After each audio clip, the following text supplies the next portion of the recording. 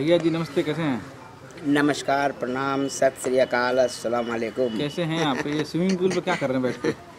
मैं swimming pool पर ये मनीषा बंगलो मड आइलैंड के स्विमिंग पूल पर बैठा हूँ और मेरी बारी आने का इंतज़ार कर रहा हूँ। आदर्श जैन साहब की फ़िल्म है दुल्हा पार्ट टू। इसकी शूटिंग के लिए मैं आया हूँ। इस फ़िल्म में आदित्य मोहन जी तनुश्री जी और आ, अवधेश मिश्रा जी मटरू सिंह जी तमाम बहुत बड़े बड़े एक्टर लोग हैं इसमें और मैं भी एक छोटा सा रोल कर रहा हूँ। क्योंकि जी इतने साल से अभिनय कर रहे हैं। कभी ऐसा नहीं लगा कि थोड़ा रुक जाते हैं?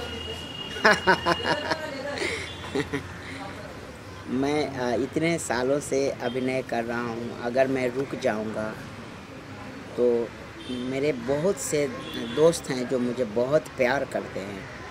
और उनको आ, मेरी फ़िल्मों का इंतज़ार रहता है। उनको मेरे सीरियलों का या जो यूट्यूब या किसी भी चैनल पे मैं आऊँ तो वो लोग बड़े प्यार से मुझे देखते हैं मेरे सीरियलों को मेरी मेरी फ़िल्मों को देखते हैं तो उनका दिल टूट जाएगा। मैं रुक न रुक नहीं सकता।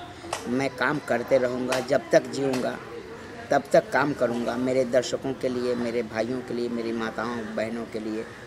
मैं आप सब के लिए अंत तक मरते, मरने से पहले तक आप सबको हंसाते रहूँगा। आपके चेहरे की मुस्कुराहट नहीं जाने दूँगा। मैं आपके साथ हूँ।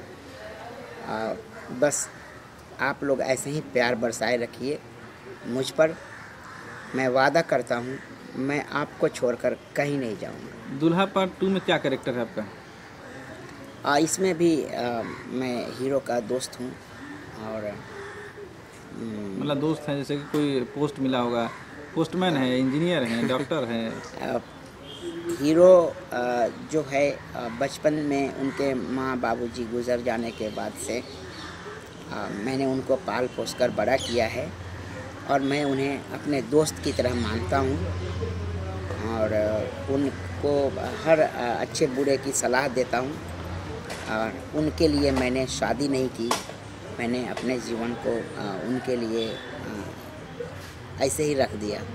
हालाँकि अब निर्देशक प्रोड्यूसर जो हैं हमारे आदर्श जैन जी उनका कहना है कि नहीं अब इस कैरेक्टर की यानी मेरी भी अ, कोई गर्लफ्रेंड आ जाएगी और मेरी भी मेरा भी घर बसेगा।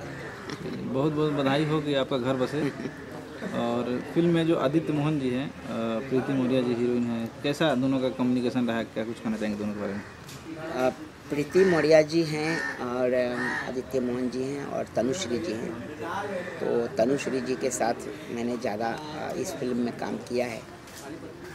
प्रीति जी के साथ अभी तक तो मैंने कोई सीन नहीं किया। और हमारा कम्बिनेशन मतलब हमारी ट्यूनिंग बहुत अच्छी है। ऑफ़ स्क्रीन ऑन स्क्रीन दोनों ही। अब रात में निकल गए थे ना भैया?